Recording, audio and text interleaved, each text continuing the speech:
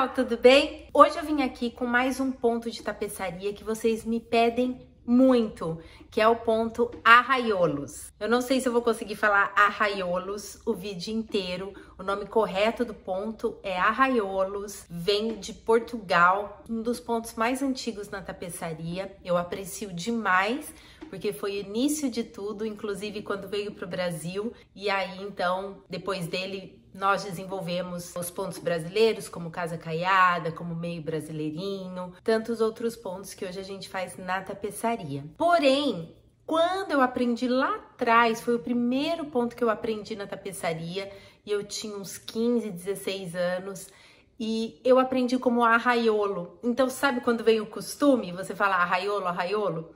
Porém, por favor, as portuguesas, os portugueses me perdoem se eu falar o nome errado tá? Mas eu tenho muito carinho tanto pela cultura portuguesa, sou descendente de portugueses, então tenho muito amor também pela tapeçaria, como vocês sabem. Então, quero que levem isso em consideração quando eu falar o nome errado. Esse ponto, como eu disse, é o ponto início da tapeçaria.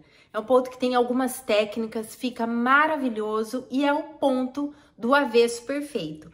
Os tapetes arraiolo, eles não precisam daquela camada é, atrás do tapete, né? A gente faz a camada, como eu tenho aqui no canal, como fazer o acabamento de tapete, que eu faço até com cola, por ser mais acessível para todo mundo, mas tem vários produtos que a gente pode fazer o acabamento. E depois desse acabamento, que a gente deixa o tapete firme, né, como um tapete mesmo, fica molengão, fica firme. Então nós aplicamos um antiderrapante, que também serve para cobrir todas as imperfeições.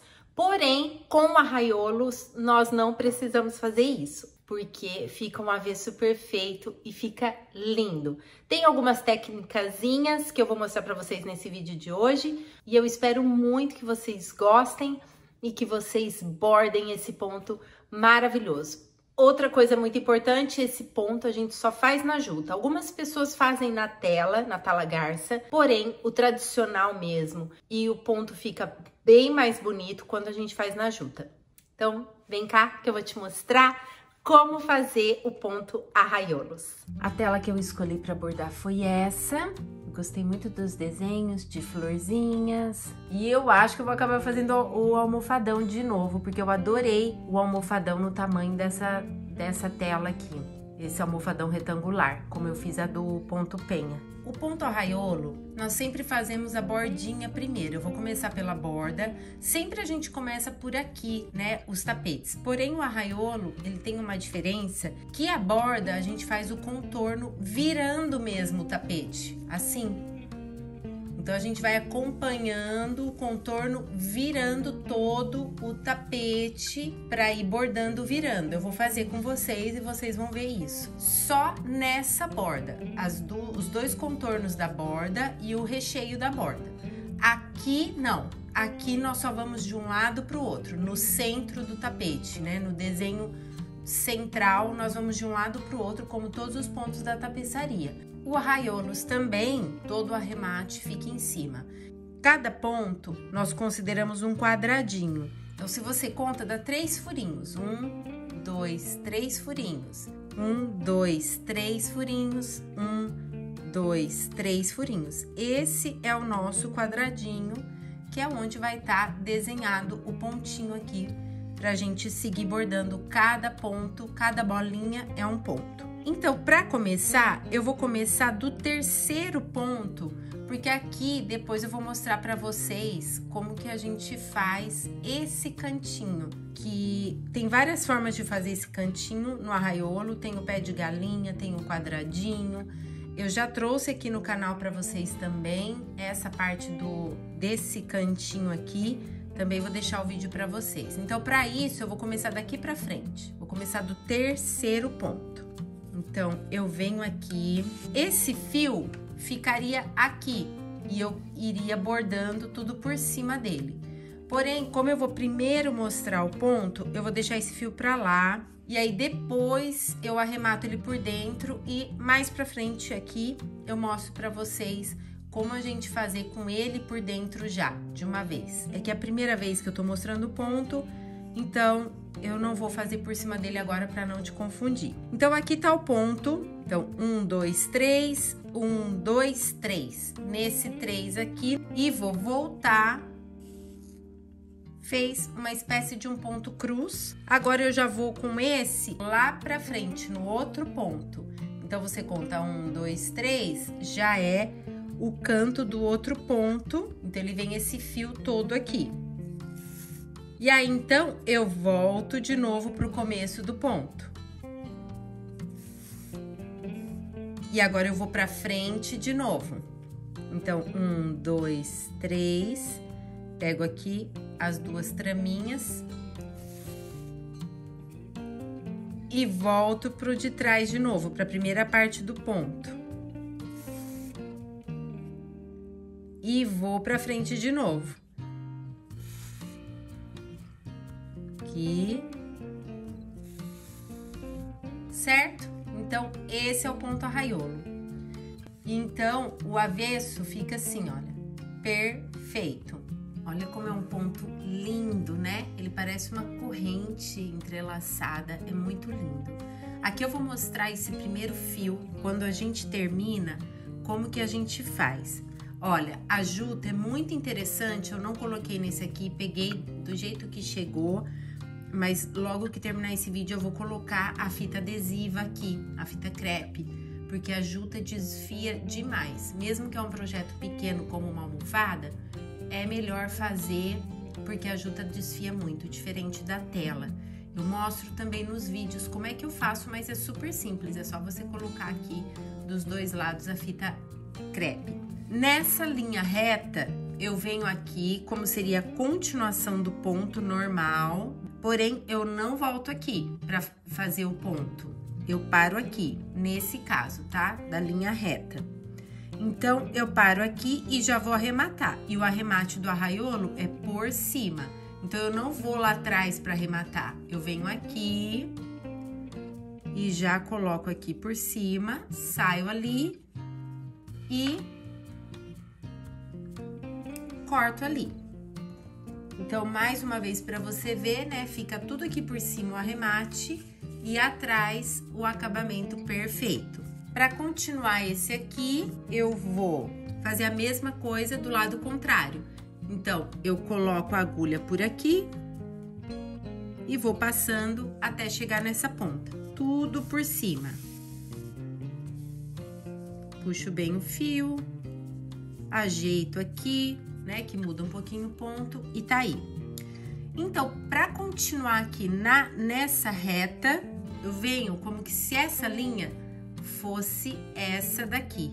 Então, eu vou colocar ela nesse mesmo lugar, aqui, sair aqui, né? Nessa, no final aqui do ponto. Tá vendo? Ela já se mesclou com esse daqui. Então, é como se fosse um fio, o mesmo fio e continuo o ponto. Então, eu volto lá pro início e vou de novo lá pra frente. Continuo o ponto normal do arraiolo. Você vai ajeitando, né, para ele esconder. E você continua o ponto do arraiolo, como eu mostrei, né? Vai lá na frente, no lado oposto, volta pro começo. E assim nós vamos até o final novamente. Agora eu tô chegando aqui no final, então eu vou mostrar para vocês. Aqui eu continuo normal o ponto. Venho aqui, volto. Vou lá na outra ponta. Só que aqui eu não volto, eu vou parar. Agora eu vou virar, como eu disse para vocês, o contorno da tela, o barrado no arraiolo a gente vira. Então, eu vou virar e eu vou finalizar esse ponto aqui. Eu não vou vir pra cá pra frente. Eu vou finalizar ele primeiro aqui. Então, eu venho aqui no final. E volto aqui. Finalizei o ponto. Para recomeçar, eu vou arrematar por cima. Então, eu venho aqui saio aqui desse lado e aí então eu vou recomeçar. Então eu conto de novo um, dois, três, faço aqui, volto, vou lá pra frente,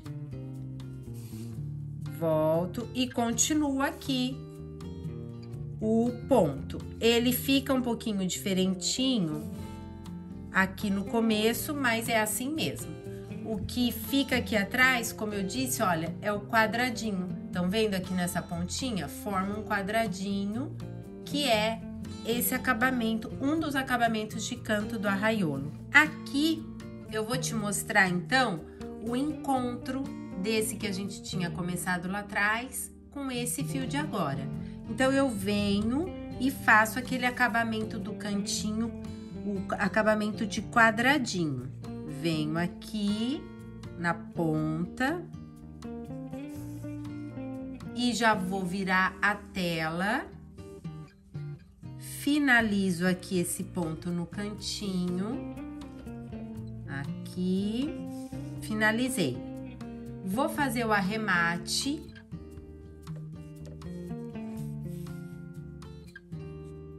E vou começar o novo ponto aqui, que é só um que eu tenho, porque aí já começa a carreira que eu tinha iniciado. Então, eu faço o ponto normal, venho três, volto três e eu vou arrematar e trazer ele por dentro, que ele vai ficar um aspecto mais natural da emenda.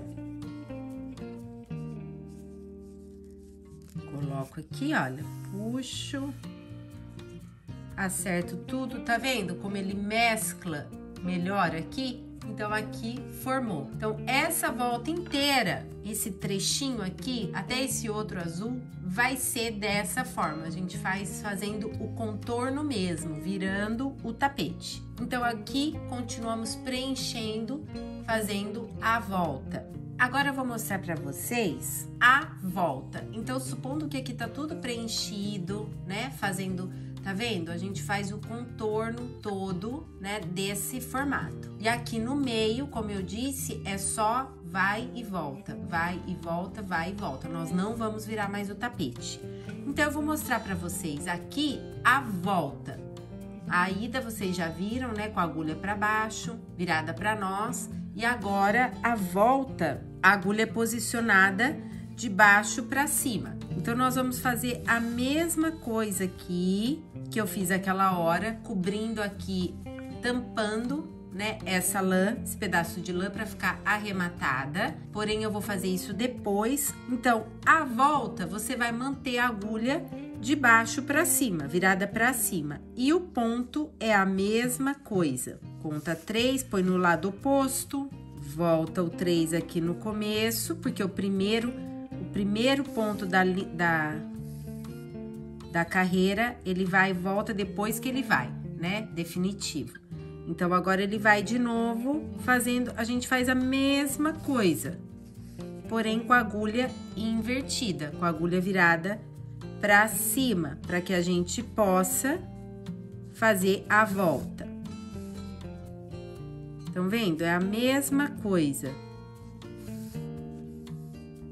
Para o arraiolo, então, nós temos sempre que vai e volta, vai e volta, vai e volta. É sempre nesse movimento, tá? Então, supondo que a gente está subindo aqui e aqui eu cheguei no vai e volta. Então, eu vou começar aqui essa florzinha para vocês verem o vai e volta de uma forma mais curtinha e ver como é que a gente faz. Então, supondo que aqui fosse o vai, né? Porque às vezes é o volta. Depende de como tá o fundo aqui. Mas eu vou fazer como se fosse o vai. Depois eu desmancho, não tem problema. E vou deixar essa aqui para arrematar. Então, eu faço o ponto normal da ida, como vocês já viram. Aqui, eu vou finalizar o ponto, porque acabou, tá vendo?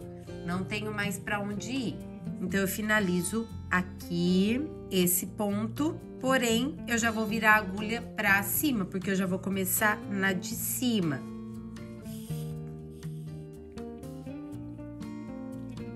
Aqui você pode cortar ou pode deixar para depois você vir passando por cima. Eu vou cortar para não fazer confusão. Você pode deixar para depois a outra cor que no caso aqui vai ser o do fundo, você vem cobrindo. Então, aqui agora eu tenho que ir pra lá, porém falta esse ponto aqui. E a minha agulha vai mudar de posição, vai de baixo para cima porque é a volta. Então, aqui no caso, eu volto um aqui, vou, eu faço tipo um ponto cruz aqui, volto. E vou de novo para recomeçar do lado oposto. Quando eu vou terminar aqui o ponto, tá vendo? Eu tenho que voltar aqui para terminar. Então, eu volto aqui e já saio com a agulha para cima para eu recomeçar para cá. A ida já muda a posição da agulha de cima para baixo e continuo fazendo o ponto tranquilamente. Vou terminar esse ponto aqui. Termino ele, mas o vermelhinho tá para cá. Então, agora eu venho arremato aqui e já saio aqui, olha, que é na posição da agulha para ela recomeçar esse ponto. Então, agora é para lá. Chegando aqui, não tenho como arrematar. Então, ou eu deixo um pedaço solto, ou eu venho aqui por dentro, olha. Eu venho aqui, puxo bem, arrumo tudo. E arremato por aqui, tá vendo? Agora eu vou te mostrar como fazer o inclinado aqui. Tá vendo? Aqui a gente tem esses dois inclinados indo pro terceiro. Então, eu vou te mostrar como é que faz. Nesse caso, eu vou usar aqui para arrematar já. Porém, como tem muito pouquinho, eu posso deixar ele assim mais compridinho e depois o, o, a cor que for vir aqui, eu cubro essa parte. Então, eu já saio na extremidade do ponto, né? Na extremidade oposta, pego os três aqui, volto para finalizar o ponto, porém, agora, como é o inclinado, eu passo a agulha aqui por dentro, por dentro da lã. E já vou subir. Esse é pro inclinado. Então, quando eu já subo, eu já começo dessa parte do ponto. Então, eu venho aqui, saio desse lado normal, voltando o ponto, porém, a lã, eu deixo ela pra cá. Porém, eu não coloco a lã dentro do ponto. Eu não faço isso com a lã. Eu faço assim, ó. Deixo a lã pra lá, de lado. E, de novo, passo a agulha por dentro. E já vou pro próximo. Porém, o próximo não tem mais inclinado. Então, eu já faço o ponto aqui da mesma forma, deixo a lã pro lado e já vou finalizar aqui nesse aqui, que é o ponto do lado que tem. Faço normal, finalizo aqui e arremato. Arremato aqui. E como eu disse, eu posso cortar essa pontinha ou posso deixar para depois o que vier aqui ajudar que eu arremate mais. Como nessa tela não tem muitos desenhos assim inclinados, só pouquinhos assim, eu vou fazer aqui aleatório para você ver melhor como que é o inclinado.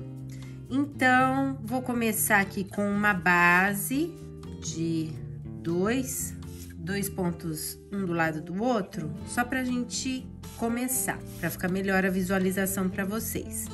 Então, a partir daqui, nós vamos começar a subir, supondo que tivesse um desenho aqui inclinado, tá? Então, o ponto veio para cá. Nesse momento, eu já coloco a minha agulha passando entre a linha e já vou subir. Então, supondo que aqui é o começo do ponto. Então, um, dois, três, um, dois, três. É nessa ponta que eu vou fazer a próxima entrada do ponto. Eu já vou direto lá. Então, essa linha tá aqui Lembrando que eu não coloco ela dentro do ponto, eu deixo ela de lado e venho aqui, olha. Estão vendo? A linha tá do lado da agulha. E aí, eu já coloco novamente por dentro da lã e puxo. Vou mais uma vez, olha. Aqui no caso eu tenho que contar porque não tá desenhadinho, né? Então vamos contar. Olha, a linha aqui tá solta, ela não tá aqui, porque é diferente para inclinar. Então eu venho na outra ponta do ponto novamente, tô subindo. Venho aqui. Venho aqui, deixo a lã de lado. Opa, Olha lá, passou. Passo aqui por debaixo e vou subir mais uma vez. Estão vendo? Então, acho que agora deu para ver melhor, né? Esse é o ponto inclinado, a forma de fazer o ponto inclinado no arraiolo, dependendo do seu desenho. Olha, eu fiz esse pedacinho aqui do vai e vem para vocês verem como fica linda a trama do arraiolo a volta toda que eu vou mostrar para vocês, olha, a gente faz a volta inteira virando, conforme eu mostrei, e aqui no recheio a gente já começa ir reto, sem fazer a volta, tá vendo? Aqui foi, voltou, foi, voltou. E aqui o contorno você vê que ele faz a voltinha, todo o contorno. Independente do tamanho, depende do desenho do tapete. O contorno sempre vai ser dando a volta e o meio vai e volta. E mesmo o contorno dá a volta e depois você vem no sentido contrário e depois você volta. Então, cada trama vai para um sentido. E a mesma coisa aqui vai acontecer com os desenhos. Nós começamos a acompanhar o vai e vem da trama de acordo com o que tá vindo aqui no recheio. E assim você faz o desenho. E aqui eu tô terminando o recheio da flor. Então eu tô aqui vindo, que esse daqui também é indo pra lá. Já vou subir, olha, com a agulha por dentro aqui, arrematando aqui por dentro. Já arrematei e agora eu venho com a agulha aqui por dentro pra fazer o ponto que vai pra lá. Esse aqui é a lã que eu deixei desse pequenininho que a gente fez. Então eu deixei aqui para eu conseguir arrematar no desenho da flor. Faço o ponto normal e vou passando aqui, olha, por cima do amarelinho, da lã amarelinha, para fazer com que ela fique aqui dentro, tá vendo? Então, a gente borda por cima. Olha aqui, ele cobre. Então, eu vou fazendo por bloquinhos. Por exemplo, agora eu venho com o recheio aqui e já começo a fazer o cabinho da flor. Aí venho com mais recheio, mais cabinho, venho vindo, faço a flor, termino esse bloco. E aí eu vou voltando para lá e fazendo. Olha como fica lindo. Tá ficando lindo esse tapete. Que na verdade aquela história, gente. Acho que eu vou acabar fazendo uma almofada de novo. Mas olha como um tapetinho num lavabo, né? Numa entrada muito lindo demais. Ele parece uma, uma corrente, né? Uma corrente que vai se encaixando na outra.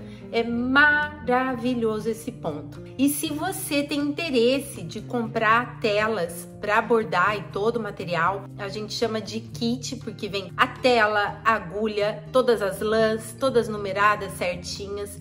Então, se você quer adquirir esse kit e mora fora do Brasil, Fala comigo através do e-mail simples e sem pressa, arroba rubiarubita.com, que eu te mando as fotos dos kits que eu tenho e posso enviar para você em qualquer lugar que você tiver. Porém, se você estiver no Brasil, você vai falar direto com a Noeli por esse WhatsApp aqui, que ela também vai entregar para você, vai mandar as fotos. Tem muita variedade de desenhos, de tamanhos para você bordar na sua casa. Espero muito que você tenha gostado desse vídeo, mais um ponto de tapeçaria que eu tanto amo fazer e muitas de vocês aprenderam aqui comigo.